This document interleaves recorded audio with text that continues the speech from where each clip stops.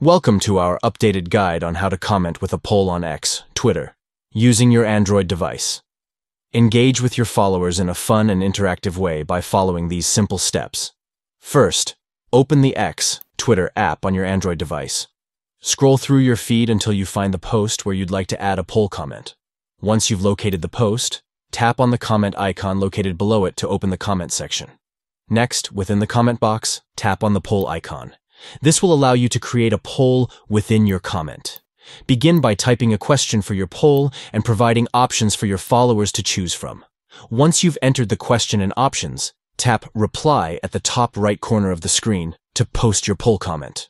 Your interactive poll will now be visible to users who view the post. By incorporating polls into your comments on X, Twitter, you can encourage engagement, gather feedback, and spark discussions among your audience. Elevate your social media presence and connect with your followers in a creative way with this feature.